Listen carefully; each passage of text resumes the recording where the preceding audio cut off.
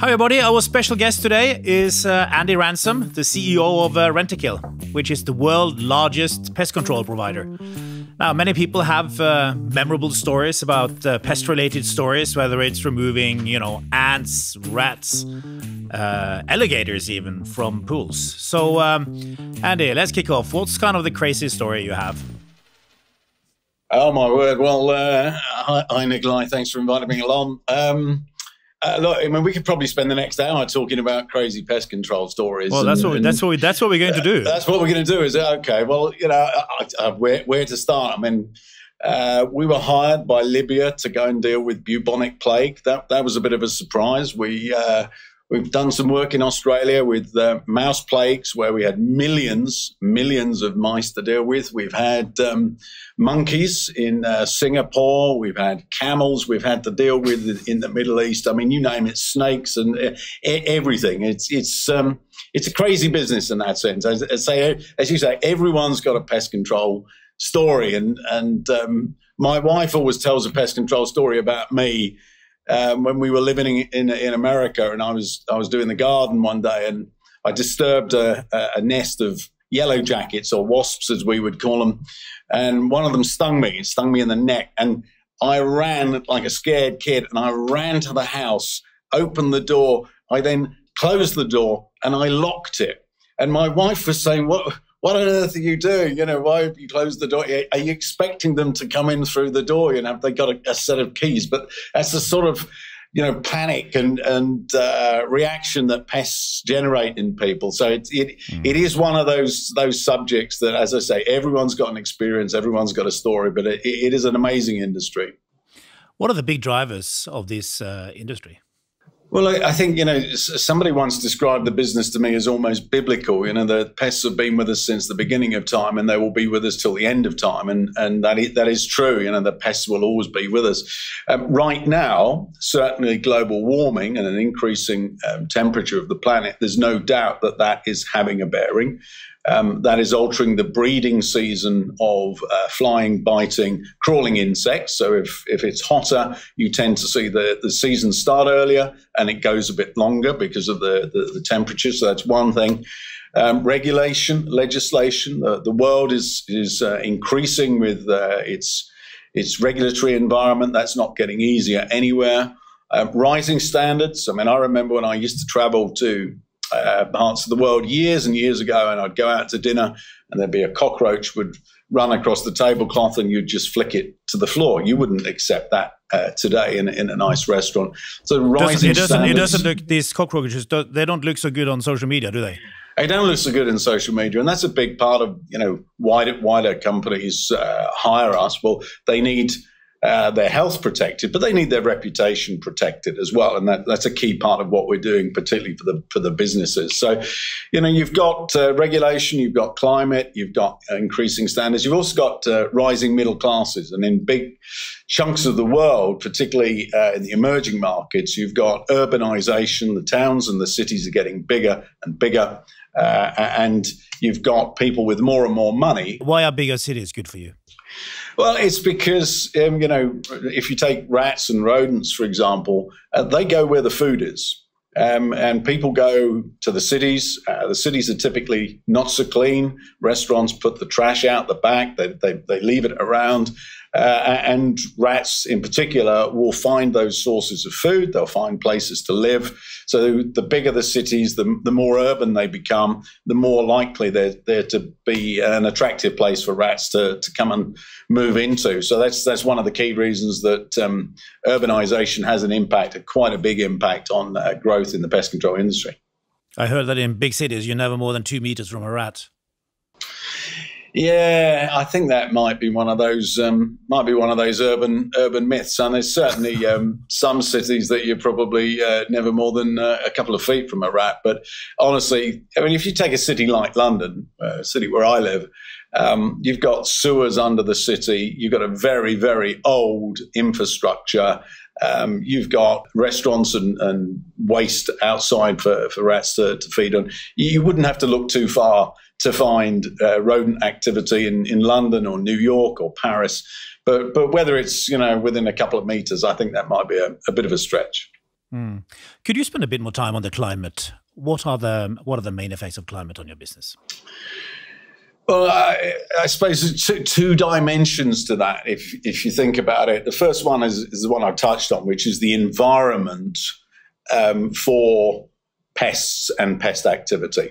In a world where uh, the planet is warming uh, and the seasons are more unpredictable, and, the, and the summers tend to be hotter and the winters tend to be wetter, those are good um, breeding conditions for certain types of, uh, particularly the insects, the flying, the biting, the crawling insects. So that does have a bearing on how soon in the season do we see, see activity and how long do those seasons go on for.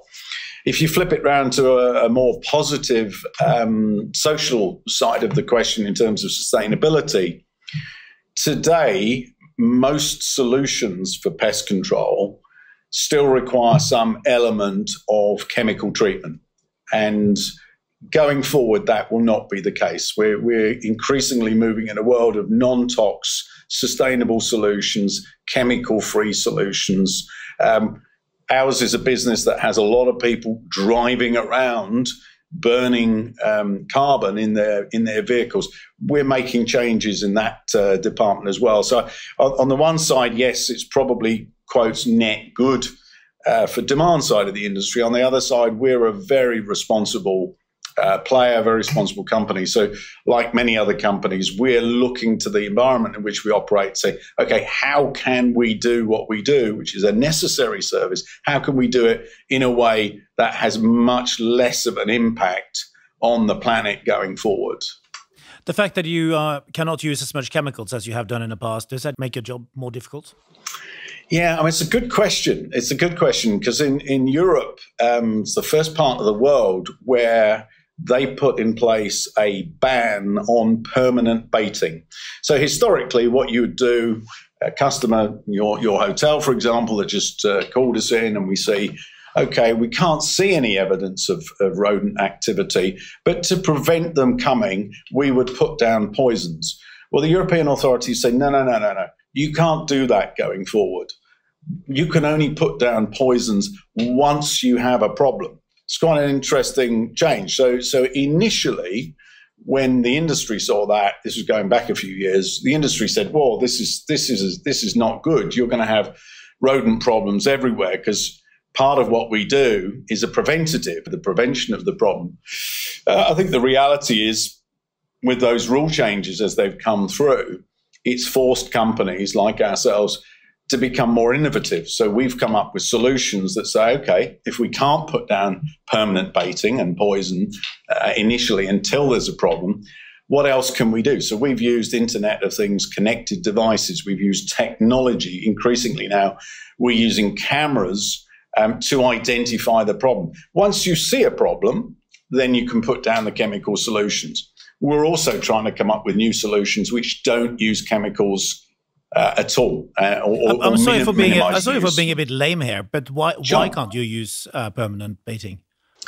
Well, there's there's two things. One is is you know the European authorities and increasingly uh, California authorities. Another one who, who's looking at it. Um, they're trying to reduce the amount of chemicals that we put into the planet generally. Okay. So so there's a lot of chemicals going into the planet, and, and farm farms in particular use a huge quantity of chemical bait. So, so that's you know that that's the first thing, and the second uh, concern is one of secondary poisoning. So there is a concern that uh, if you put down um, chemical poisons to indiscriminately, not only will you kill the rats and the mice, but you could end up damaging other wildlife, birds, birds of prey, for example, that might feed on the uh, feed on on the rodent. So you know it's it's, it's well intended and it's in, in its um, you know we don't oppose it, but uh, it does require innovation and innovative solutions to come up with alternatives, which they're coming, but in some cases they're not they're not there yet. What um, kind of emerging pest threats are you most concerned about now?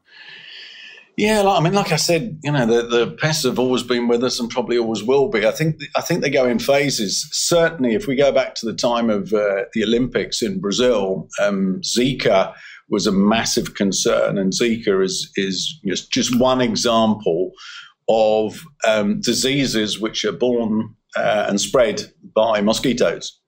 So I would say if you if you actually look and, and go back in time, um, malaria is responsible for more deaths on the planet since the beginning of time than any other cause, more than war, more than disease, more than cancer. Um, so things like malaria, right now, dengue fever um, is is significantly on the increase in markets like Brazil. You see huge increases in dengue fever. So I think vector-borne diseases um, remain a big concern, and they you know they're, they're, very serious consequences. You can you know you can end up um, uh, dying or being very very sick from uh, vector-borne diseases. Um, less dramatic, but certainly more topical at the moment. You, have seen a lot of bedbug activity in the news. Of course, we got the Olympics um, in in France, in Paris this year, and last year in particular. There's a huge amount of media coverage about the the surge in bedbug activity. Is it real, or is it because people want to have a go at the French?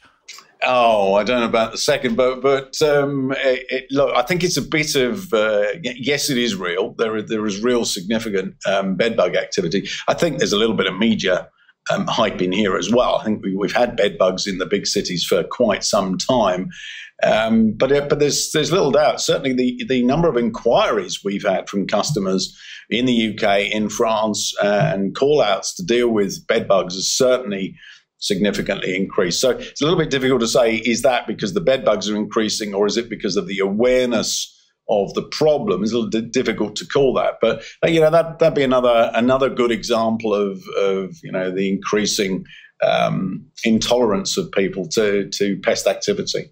What are some of the new technologies that you are using?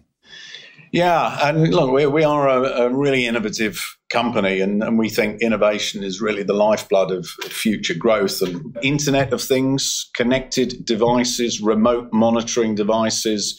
So these are, think of it like um, a burglar alarm for pests. So you put down a, a, monitor, and if, uh, in this case, a, a rat or a mouse triggers the infrared beam, we've got activity, we know there's activity.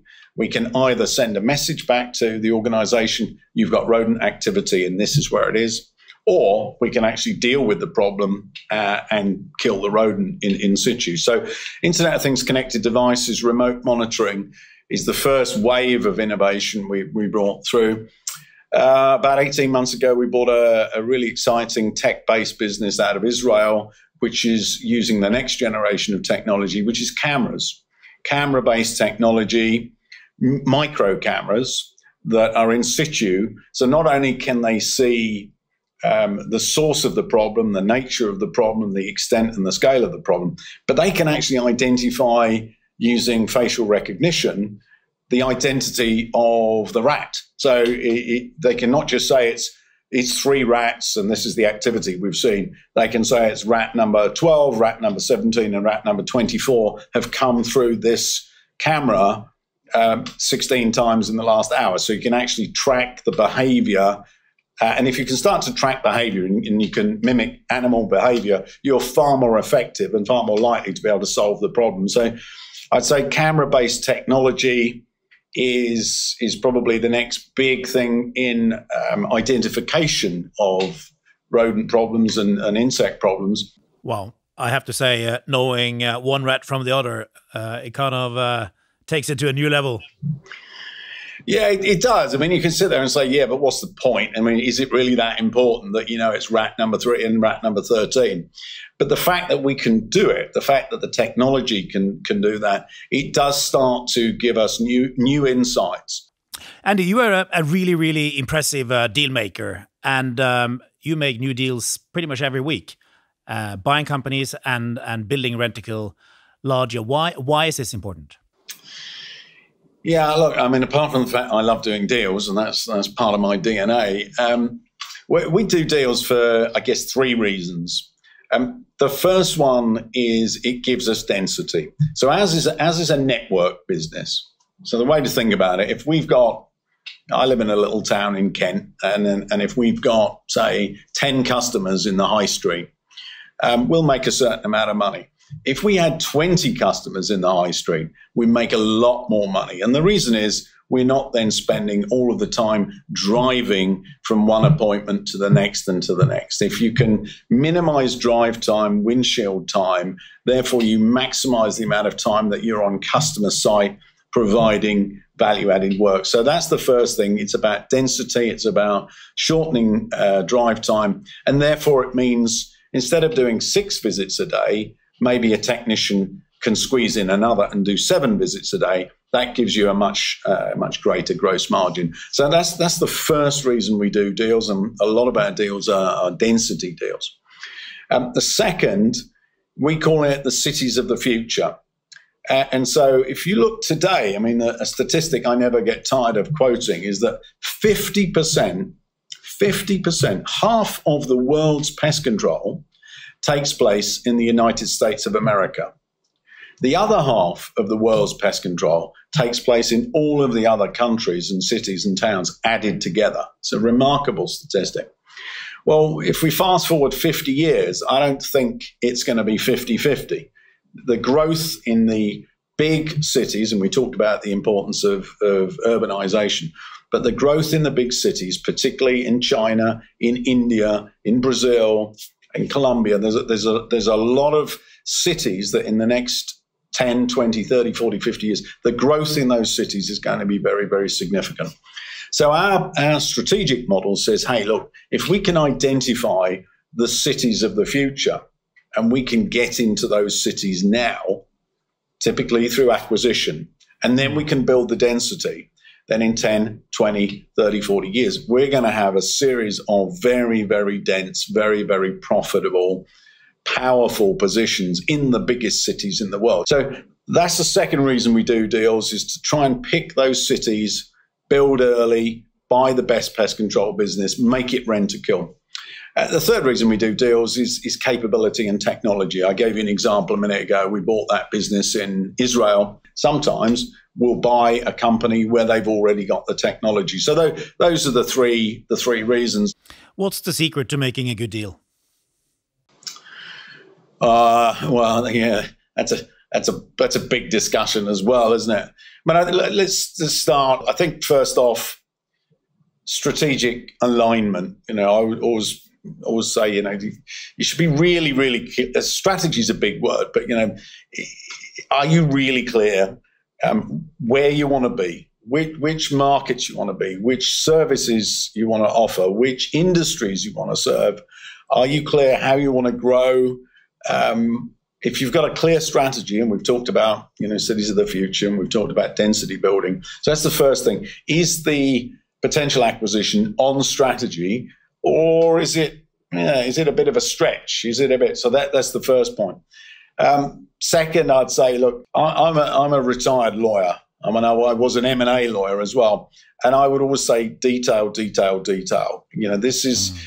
This is uh, so critical that you do your due diligence, you do your preparation, you do your planning, and it's thorough, and you don't get seduced by the process. A lot of people get halfway in, oh yeah, we found a problem. That's all right. We'll deal with it. No, no. No, you've got to be really disciplined and, and be prepared to walk away if what you find is is not uh, acceptable to you.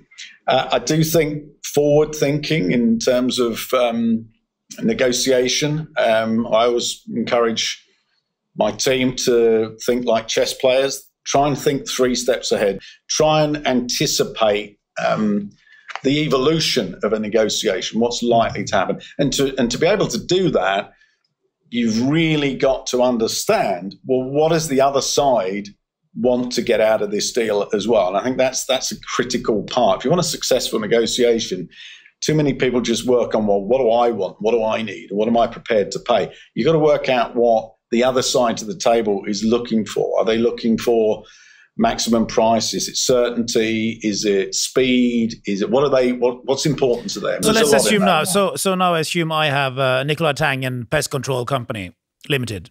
Yeah. And um, you want to buy me now? What is your best negotiation trick?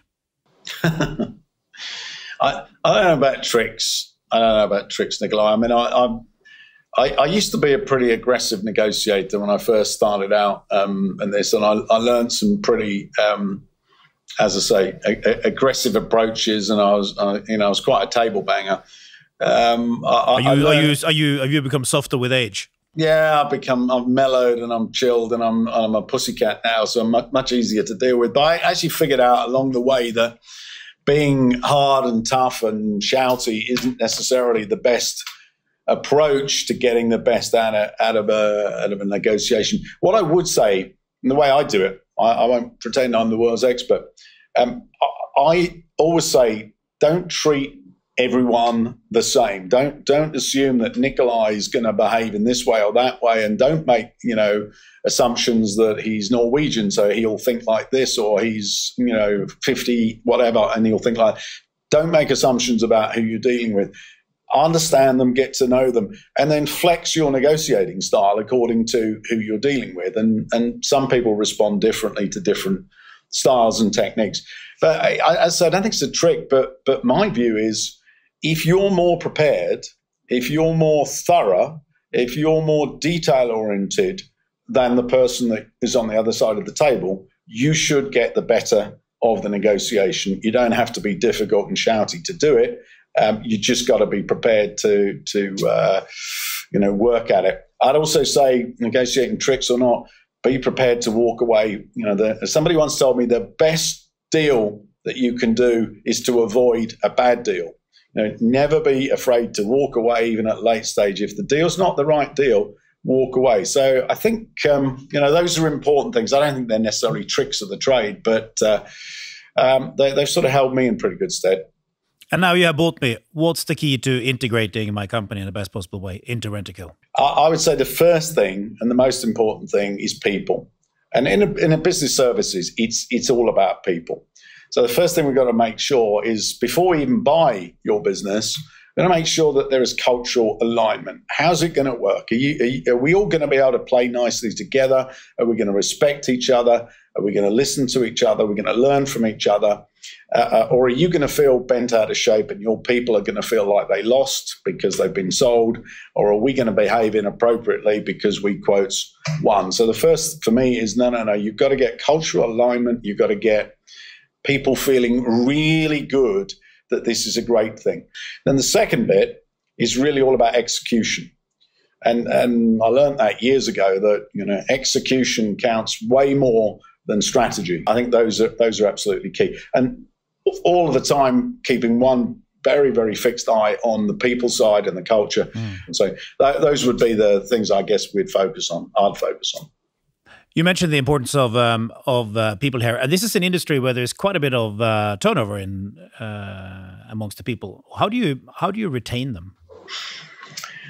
Yeah, look, I I, I said um, a minute ago. For me, I think the most important part of a business services business is is, is about people. I'd say, look, I've been CEO over ten years now, Rentokil, and been privileged to have that that role. The first five years, I think I focused on uh, process, I focused on cost, I focused on structure, I focused on uh, innovation, of getting out of bad businesses, focused on acquisition. The second five years of my tenure, uh, I've really focused on people, and I think I was a bit late to to wake up to this one. What made you wake up? Um, oh, quite honestly, I was I was chatting to one of my guys, um, and you know we were doing well, and we were making great progress. And we had this conversation, and I get a very open relationship with my team, and and um, he was giving me some feedback. And um, he said, "Look, Andy," he said, "You know, you, you, you're pretty good. You know, you're not bad. You're, you're doing all right. We're doing all right." He said, "But can I give you some advice?" I said, "Yeah, of course." He said, "Well," he said, you play not to lose. You you play it safe. You play with inside yourself, and and that's right. I'm I'm a fear of failure guy. I, I don't want to screw up. Okay? I don't want to mess up, and that's that's been my, you know, that's that's deep in my DNA. And his advice, he said, you know, you should start playing to win and and stop playing not to lose, which I thought was amazing advice considering this guy worked for me. and it, and it really resonated with me. Okay, that is right. Actually, you know, we're doing well and we're making progress. Okay, we need to start playing. We, we need to start making some more bold strokes. And it was about that time that it occurred to me, in looking at all of our numbers, that the single biggest enabler of success in my business was people. And your point about you know retention and churn, um, I, I, said if only we could drive up colleague retention um, then great things happen. Colleague retention goes up. If you've got happy, engaged, well trained, safe colleagues who come to work every day and do a great job for their customers, then we get happy, engaged customers who want to buy more stuff from us, who are interested in our story, our innovation. They'll pay our bills, they'll give us cash, and we reinvest that cash. And, so, you, and you got 50, and you got 50,000 people you need to get out of bed every day, right? Yeah, six, 60 now, 60 odd 60, thousand. And 60 how do you how do you how do you get them out of bed and how do you get them to come and be proud of what they do and and yeah, how do you motivate I, them? I have to start very early and make a lot of phone calls. Yeah. Um, look, I think, you know, it, it is incredibly important um, that whole cultural bit, and I do take it very, very seriously. Um, uh, first off, it's genuine. In, in our company, you know, people say, "What's it like at Rentokil?" I said, "You know what? It's a really nice company." So it starts with this bedrock that we do actually care about our people. We do want them to thrive. We do care about their safety. So I'll give you an example. Um, we put safety uh, at the number one agenda item for every single meeting in the company without exception. Every single meeting starts with safety. And in Why? the last 10, well, because for me, on a personal level, as a leader, it's incredibly important. I've got a background, I used to work in explosives in my previous business. Um, I had some fatalities on my watch. Um, that still affect me today. And I said, ne- you know, never again. So, in a people based business, in a route based business with thousands of people driving, working at height, um, being exposed to chemicals. I've said the single most important thing in this business is our people are safe, and everyone is authorized to walk off the job. If you don't think this is safe, walk off the job. No one's ever going to criticize you. So we put that agenda item number one 10 years ago. Hmm. Changing um, tacks here, um, what makes you an effective leader? Well, you have to you have to ask others as to whether I am an effective leader. Uh, I suppose. Um, I, I think look, I'm not. I, am not a big uh, quoter of, of um, sort of business books, but I do remember reading uh, Jack Welch years and years ago when I went to business school, and he said something like, um, "If you want to be uh, an effective business leader, you should surround yourself with people who are better than you." And then get out of the way and let them do their job. And to a pretty large degree, that's what I've always tried to do. Now, that doesn't mean to say I'm not an interventionist manager. The legal training that I've had means I do detail. I'm not a micromanager, but I do detail like nobody else in the company does detail. So, but but my notion is why would I try to be the best at marketing? Why would I try to be the best at sales or innovation or IT or finance? I need world class people surrounding me. I need to empower them and engage them, and then I need to hold them to account. So, for how, me, how that, can you do how can you do detail without being a micromanager? Yeah, well, the, well, you can do detail. I, you know, you, your question was about efficiency, and I am a very, very efficient um, uh, processor of materials. I, I, I can read a document incredibly quickly, and I can pick what I think are the, the, the kernels that I need to get out of it. But what I'm not trying to do is say, okay, I've read your report. Now do this. Now do that. Turn left. Turn right. Don't do that. I've read the report. I've got the key now I'm going to ask you a bunch of questions. So my method of, of management is not to tell you what to do now, Nicolai. My method of management is to say, okay, I've listened to what you said. Here's a bunch of questions. Have you thought about this? That combined with holding people to account. In, in Rentokil Initial, you get a lot of freedom. You get a lot of entrepreneurial freedom. If you don't deliver, you will be held to account. That, that's, that's my method. Whether that makes me effective or efficient, uh, others can judge. How do I get to the top of Rentokil? Yeah, um, we have to you have to you have to move me out for, uh, first, uh, I guess. Um, look, I, I think I look at my team. I had my team together on Monday. We've got huge tenure and longevity in my senior team, and I think that is a tremendous compliment to the organisation. When you say long, what do you mean by long? What's a long tenure? Uh, well, my head of IT has been doing it 32 years, and I would I would rate him as one of the best IT professionals I've ever worked with. Um, I, I, didn't. I didn't think we had computers 32 years ago. Well, I know it makes you wonder, you know. It, but but he's still up to speed with with AI and and uh, robotics and all the rest of it. I've been here 15 years. Uh, the finance director's been here 15 years. The head of UK's been here 15 years. The head of Europe's been here 14 years. So quite a lot of, of longevity. Now you could look at that and say, well, maybe that's too much. Maybe where's the where's the new blood? Where's well, we have some new blood as well. But I think people don't stay that length of time in an organization if certain good things uh, aren't, aren't happening. So for me, comes back to something we touched on earlier. Culture is so so important. Um, and we have fun working at, Rentokil. We really do. We enjoy each other's company. We're high energy. We're nice but we are very hard edged. And I always say to the guys, don't don't confuse niceness with softness. We're not a soft organization. We're a very hard edged, business driven, performance driven. So I think how do you get to the top? You know, hard work, application. I would say be prepared to move. You know, be prepared to move roles, be prepared to move countries, be prepared to move cross divisions. So keep learning and and um, don't just stick in that one tram line for your entire career. How hard do you work? Um, my wife would tell you ridiculously hard. Um, uh, I think one of the things I've noticed over my career, and technology is really part of this, and I'm sure you're the same, and many people listening would be the same. I think the way in which we work is radically different now. So I, I, I kind of I'm always on. The, the, the phone is always on um, I run a global business, so I'm getting emails and messages kind of 24 7 you know and, and as i'm as i'm going to bed america's still firing and as i'm getting up at the morning australia's not even yet you know back at the afternoon. And, and the way i cope with that is I, i'm back to efficiency. I just deal with the stuff when it comes in. And that i think is you know that makes huge impositions on your lifestyle. It means you know you're constantly on. Um, and unfortunately for me, that means if I go on holiday, I'm still on. Um, I'm very bad at, at downtime. It means at weekends I'm still on.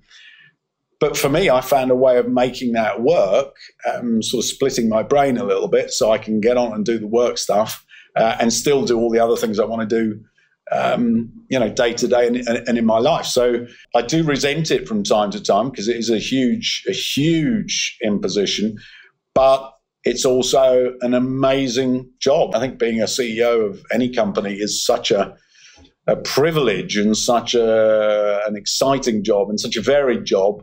Um, so I feel, you know, I feel it's not right for me to point out, yeah, it's it's bloody hard work, and, and I work very, very hard, but you know. How do you relax?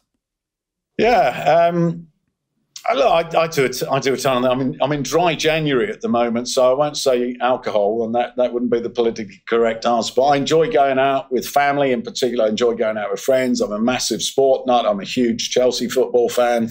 Um, I'm lucky I have a house in Portugal, and I love going out and spending time in the sun.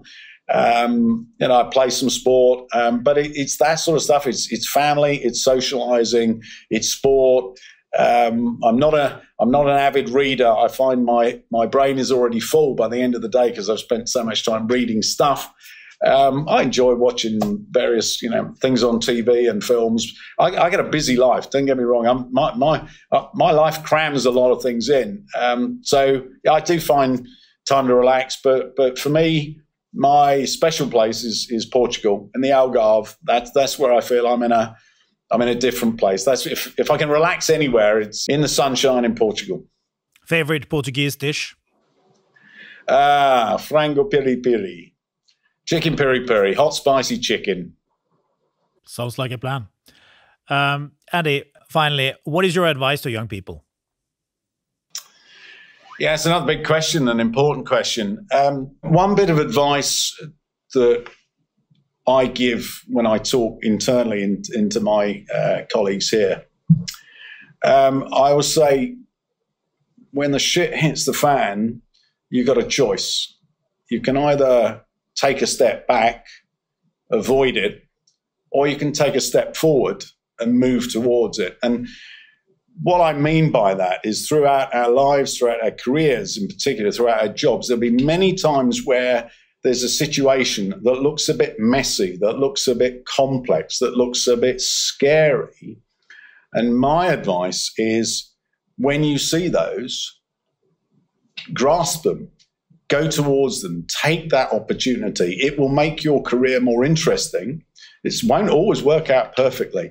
But I think if your first instinct is to shy away from the complex, the messy, the difficult, the challenging, you never get to find out what the alternative is. And, and you know, back to how do you get to the top?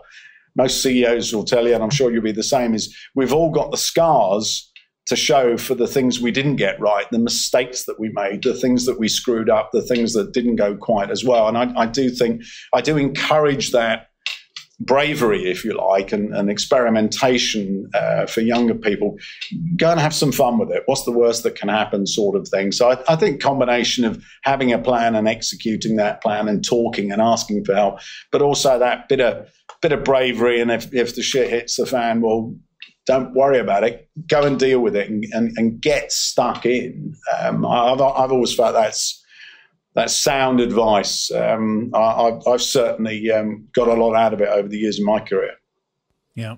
Well, Andy, you for sure have taken a lot of opportunities, and um, big thanks for keeping our cities uh, safe and clean, and uh, you know nicer than they would have been without Rentokil. And Thank also, uh, big thanks for being on today. Really Absolute. great talking to you. Absolute pleasure. Lovely seeing you, Nicolai. I'll see you again, and uh, thanks for the opportunity.